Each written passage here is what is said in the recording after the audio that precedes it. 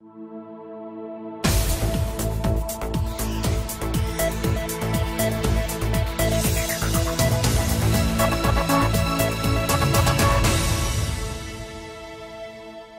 ื่อวันที่ 6 ธันวาคม 2556 มีการจัดแสดงภาพถ่ายพันไม้งามในโครงการ พระเมตตาดุดสายทานสุรา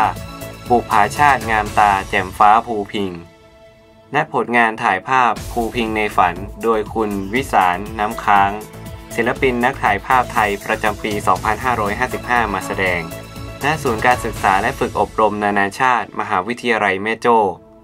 การจัดการแสดงภาพถ่ายในครั้งนี้ เป็นการจัดขึ้นเพื่อเทิดพระเกียรติพระบาทสมเด็จพระเจ้าอยู่หัว ในโอกาสทรงเจริญพระชนมพรรษาครบ 86 พรรษา และสมเด็จพระนางเจ้าสิริกิติ์พระบรมราชินีนาถ ในโอกาสที่ทรงเจริญพระชนมพรรษาครบ 81 พรรษา และร่วมเฉลิมฉลองครบรอบ 80 ปี มหาวิทยาลัยแม่โจ้ นอกจากนั้นยังเป็นการเผยแพร่ความงดงามของผ้าพันไม้ ที่ปลูกในบริเวณพระตำหนักภูพิงราชนิเวศ โดยเฉพาะอย่างยิ่งกุหลาบที่มีมากกว่า 340 สายพันธุ์